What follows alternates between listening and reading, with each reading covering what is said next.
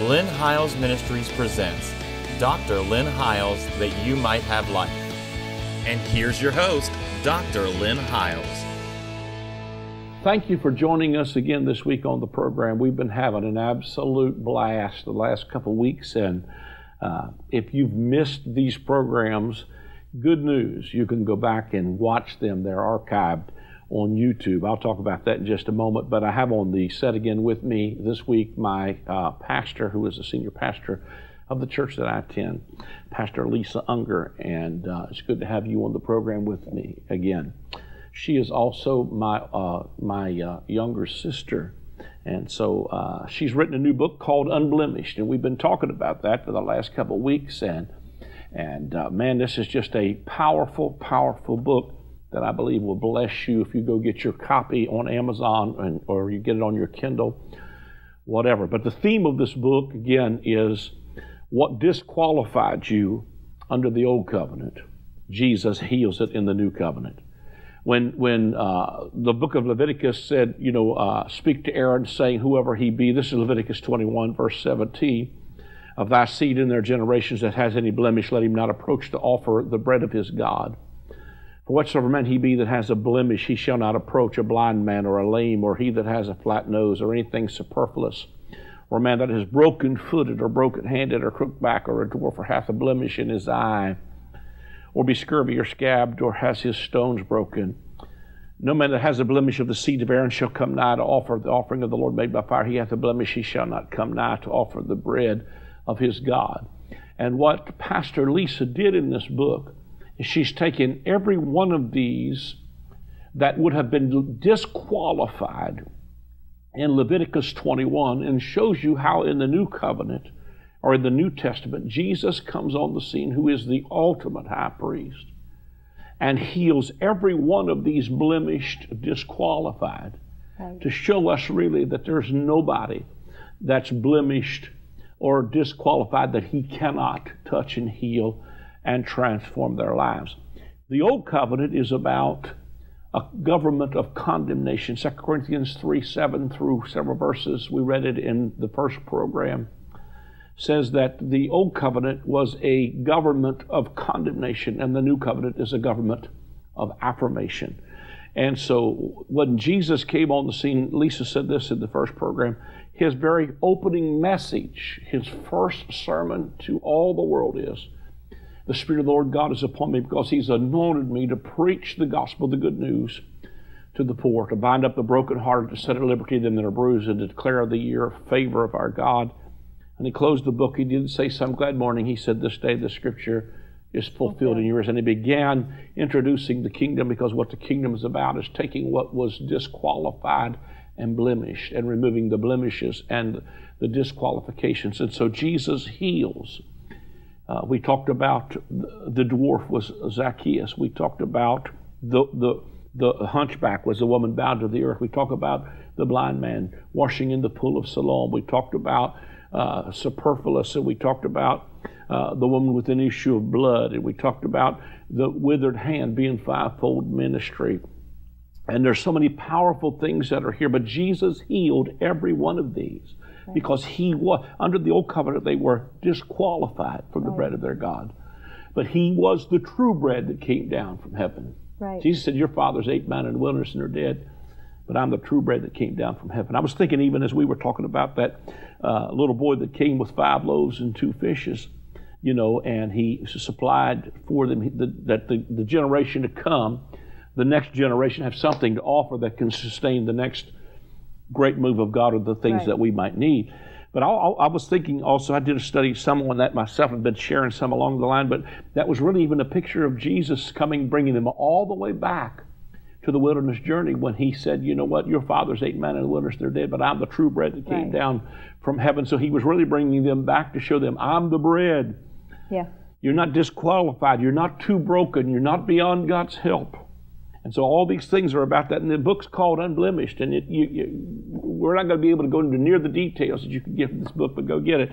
But I just talk about that a little bit more. You want to talk about, I think, the man that's got a broken foot or something on this one, and maybe a few others, and we'll see what we can cover on it. But yeah, so we see the picture, you know, when you see the list of all the blemishes and all the thing that's done, and then you get over into the New Testament and you start looking at the miracles that Jesus did, you realize it's the list yeah. It's kind of almost like the hit list. Yeah. You know, he goes down through that list, and so and and he begins to restore everybody who was on the list. Yeah.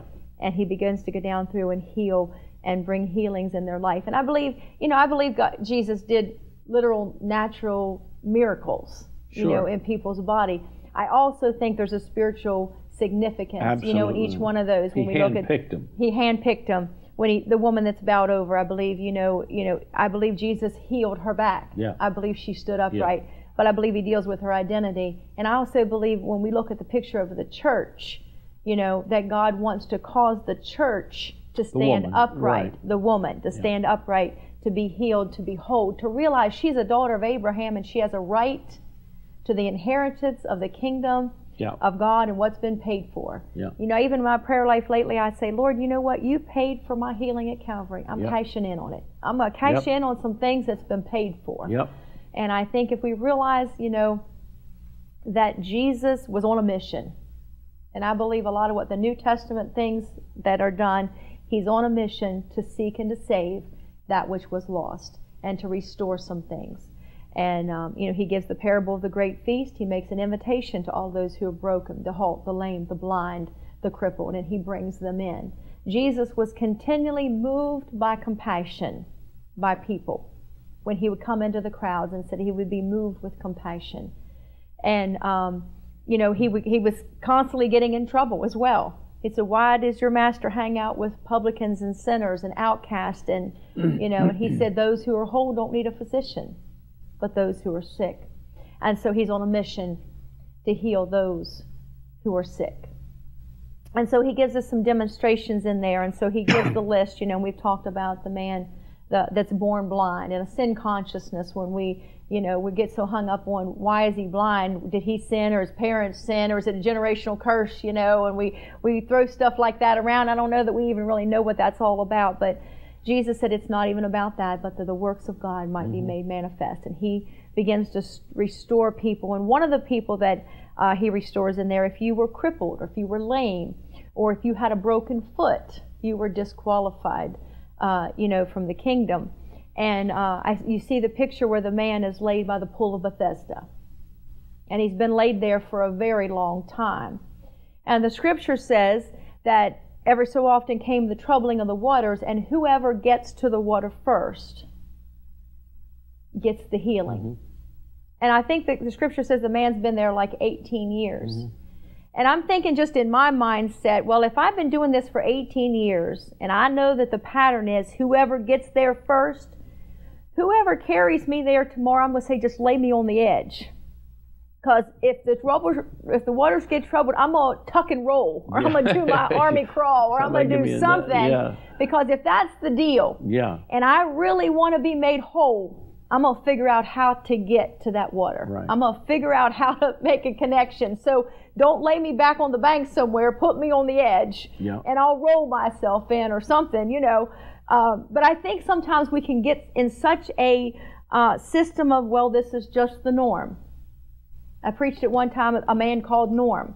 It was normal. And after 18 years, I think sometimes you just figure this is normal.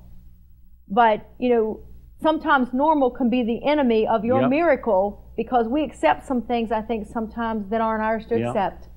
And so he lays there, and Jesus simply says to him, Wilt thou be made whole? To you and I, the answer is yes right? You know, yes, I want to be made whole. He says, I have no man to put me in the water.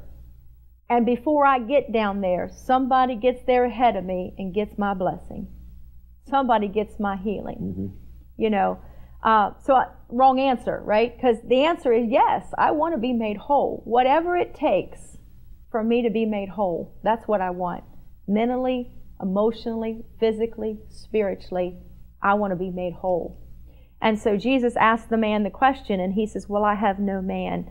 And, you know, too often we wait on man Yep. to be the source or the answer of what our healing is when it's not in man. Yep. Man's not ever going to be the answer to what Yep. you need. And he says, Will you be made whole?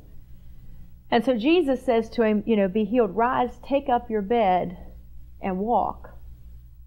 And so he gets, you know, the man gets his healing and he gets up out of there. And I, and I seriously believe that Jesus told him to take up his bed and walk because what gets the man in trouble, what gets Jesus in trouble, not just the miracle, it's because the man carries his bed on the Sabbath day.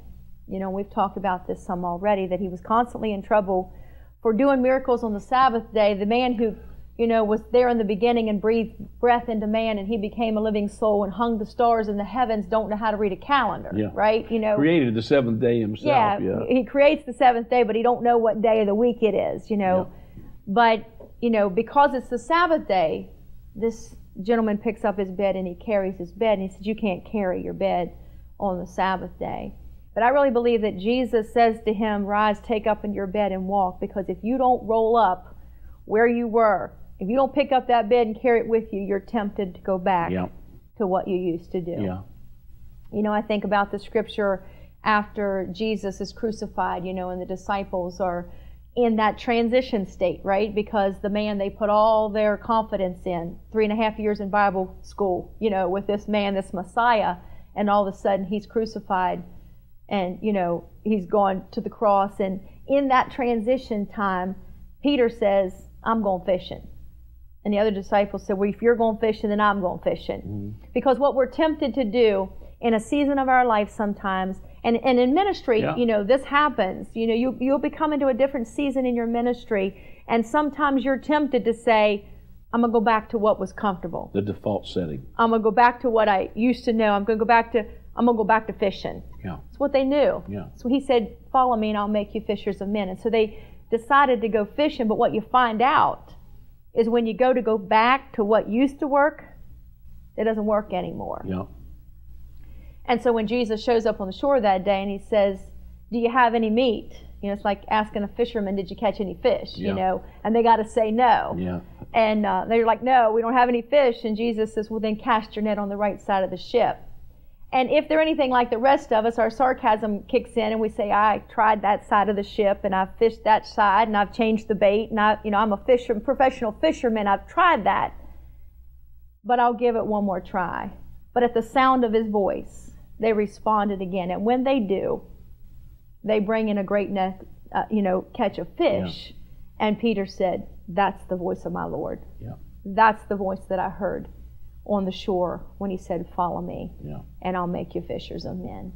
And so he comes back to the shore, and you know that Jesus sits down with him, bread and fish already on the fire, and Jesus restores Peter in the sense that, you know, Peter denies him three times, but Jesus sits down at the shore with him, even in Peter's broken state, mm-hmm. disappointed in himself. Lord, I'll die for you. I'll go to the cross with you, you know.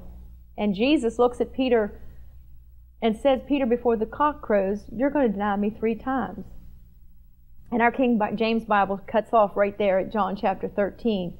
But John 14 starts out, but don't let your heart be troubled.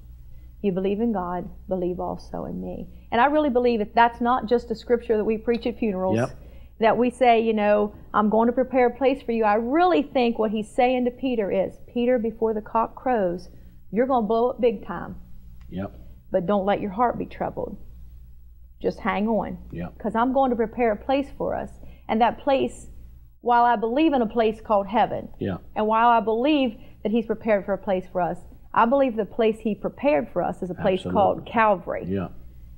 And so He said, just hang on. To the point that when Peter denies the Lord, hears the sound of the rooster crow. The scripture says he turns and the Lord looks at him. And they come eye to eye, and Peter walks away sorrowful. But I really believe what he's saying when he looks Peter in the eye, he's saying, Don't let your heart be troubled. Mm-hmm. Remember what I told you. Yep. He sits down with Peter on the shore in a broken state and said, Peter, do you love me? And I think by the third time when Peter says, Lord, you know I love you, he realized I denied him three times, But the same guy that I denied three times gave me opportunity all three times to come back and say, You know, I love you. And God restores Peter.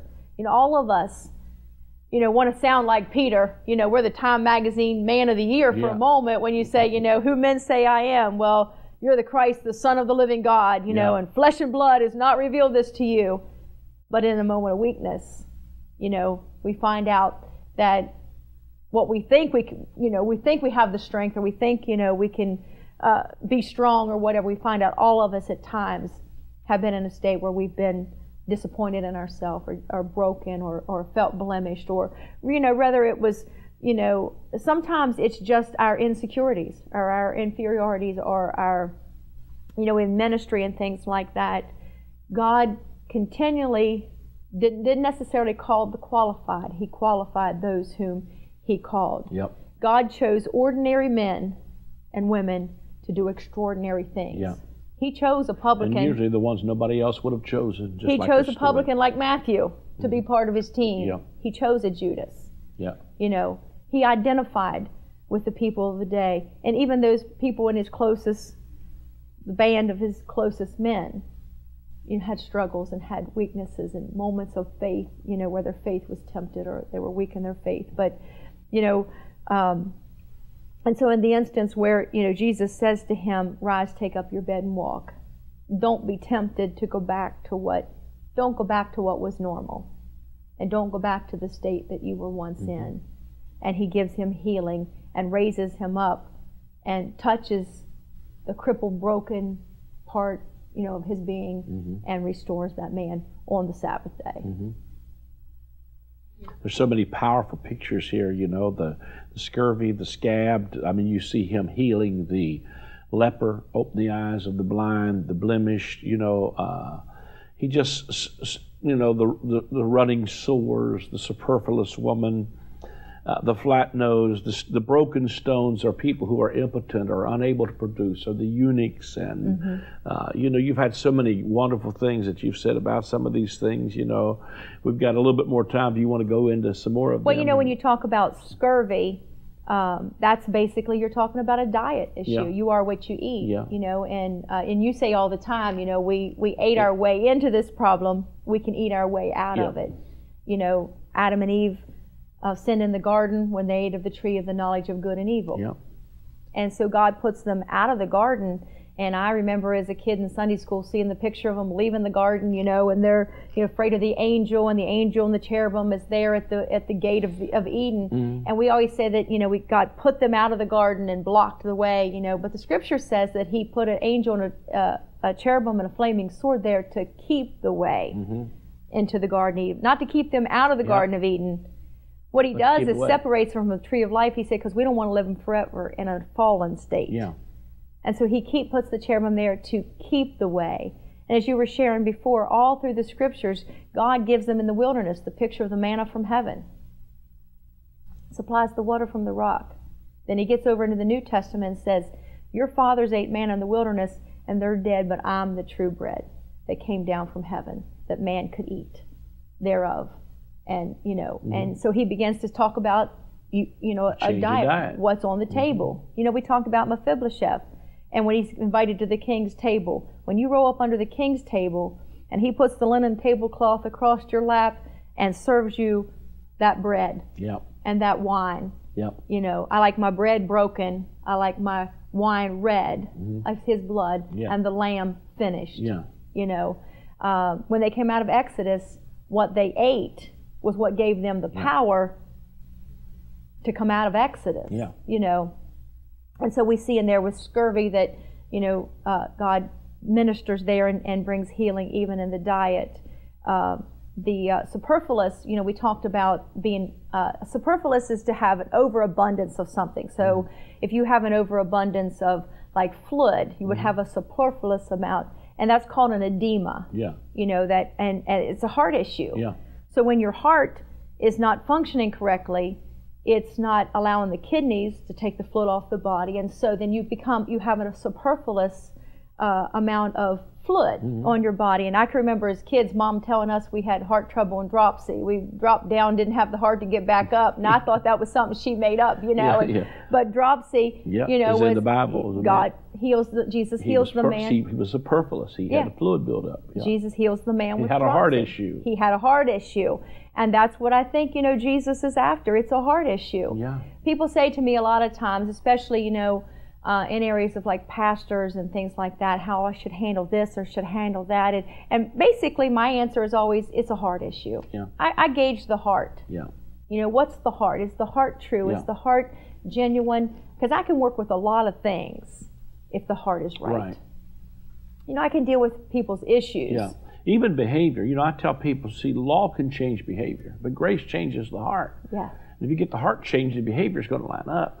But we, we so focus sometimes on the behavior, we, we, we miss the heart, and that's what, you know, you see what David was called. He, I mean, everybody looked better than him. Everybody looked more qualified.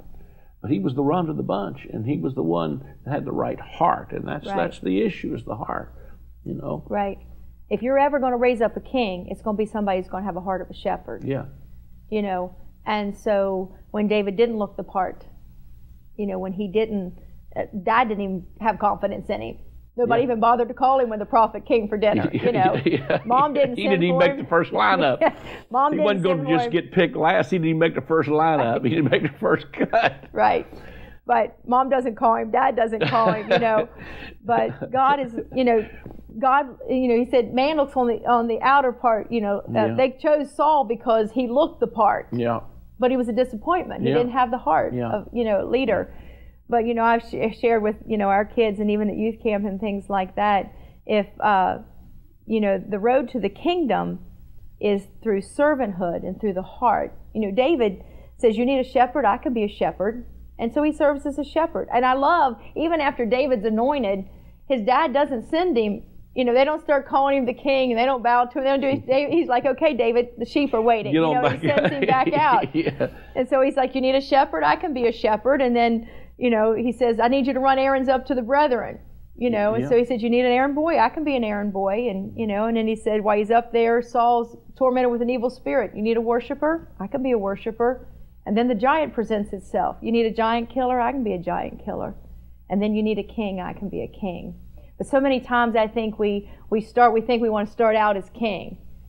But, you know, I look for the heart. Yeah. You've got a heart to serve. If Yeah. you'll serve at the level of, you know, you need somebody to work in hospitality ministry, you need me to deliver the food to the brethren who are in battle, I can do that. Yep. You know, you need me to be a worshiper, I can be a worshiper. Yeah. You need to, whatever you need me to do, because I believe God looks at the heart.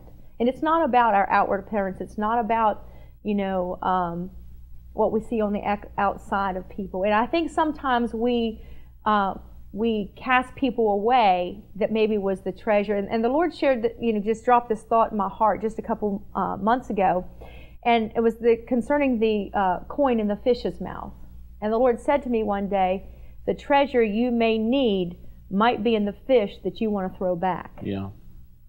but the treasure was in the fish's mouth." And you know, He's called us to be fishers of men. In other words, you know, when He called the disciples, "I called you to be fishers of men."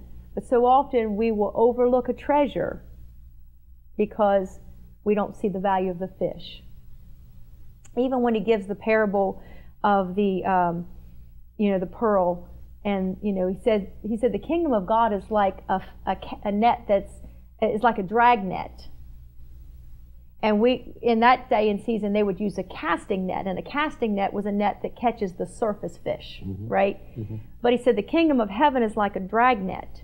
And a drag net would go all the way, it was weighted, it would go all the way to the bottom. And what would it do was catch bottom feeders. And of course, you know, under the Jewish mindset, that's considered unclean. Yeah. You don't eat the shrimp. You don't eat the, you know, the yeah. catfish and, you know, the pearl. Yeah. And he said the, the tre- you know, that's like a pearl that's hidden in a field. Well, you didn't, an oyster would have been considered unclean because Yeah. it's a bottom feeder. Yeah. But what he's saying is the kingdom of heaven is like a dragnet. It goes to the depths Yeah.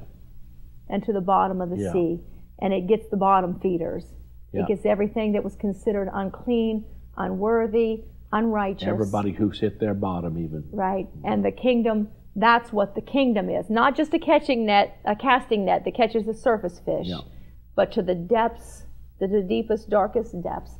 I believe the kingdom of God can touch you wherever you are in a prison cell, in a in a hospital bed, in a you know a bad relationship, a, and you know whatever it is, and an addiction, wherever it is, you might think that you have hit the bottom of the bottom. Yep. You may have think that that you are unworthy, that you're unclean. But the, Jesus said the kingdom of God is like a dragnet that's cast into sea that brought in all manner of fish. Thank God we come from a generation of uh, bootleggers, and, and our background Yeah. was some bottom feeders. yeah. You know what I'm saying? And, Yeah. and, and, you know, it, we might say that in a way that might sound bad, but, you know, the power of our testimony is God stepped into the destiny of our life and turned the life around that had he not intervened would have had a whole other turnout. Yep. But God was able to go to the depths of the sea and touch a man and a woman, Yep. change their course of history, and that would and that would be a voice that would touch the nations of the earth. Who knew Yeah. the power of the cross? But that's what the kingdom of God is. And so if you think you're in the depths too too low, too deep, or too hard where God can't reach you, you're just what he's looking for. You're just what God is looking for. And it's called unblemished, and you may feel like you're unblemished, but I'm telling you, he's he's you're exactly what he's looking for. God stepped into our family, like Lisa said, and turned things around. And four generations later, the children, grandchildren, grandsons, granddaughters, daughters, sons, serving Jesus, touching the nations of the earth you can turn your life around. This this really this ministry is dedicated to folk who who been pushed away or felt like they're disqualified, who feel like they can't make it. That's the new covenant was given. I mean, it shouldn't just be our ministry. It is. There's many ministries out there that are doing this, but but uh, you're not too broken. You're not too blemished that God can't step in and search out those things that were disqualified under an old covenant and qualify you because He's the true bread that came down from heaven, and you're not disqualified from eating the bread of your God. You are invited to the table. You can turn your life around today simply by Absolutely. receiving what He's done. And uh, like many of these, just the response that they had was, Be it unto me, according to your word, Mary said, and, and others that simply received what Jesus had to offer. Uh, we've had a great time. You can get the book. It's called Unblemished. Go to Amazon. Uh, you'll be blessed. You can go and listen to Lisa's podcast as well. Thank you for joining us. If you'd like to sow a seed into the ministry, take a moment to call the number on the screen. You can give via credit card that way, or you can go to our website. If you'd like to become a partner, there's a place there where you can simply have a recurring uh, debt to that card or whatever, but you can send check or money order. We do need your help. It takes that to run the ministry, to keep everything running on the air. God bless you and thank you for joining us again this week. God bless. I'm very excited to announce the release of my newest book. It is titled From Law to Grace, A Kingdom Paradigm Shift. In this book, we talk about how the gospel is not about a law you have to keep. It is about receiving a life that will keep you. It is not about living this life out of fear. It is about living a life of faith. It is not about rules. It's about a relationship with a loving Father. It is about moving from the old covenant government of condemnation to the new covenant government of affirmation. It is about living life as a citizen of the kingdom right now.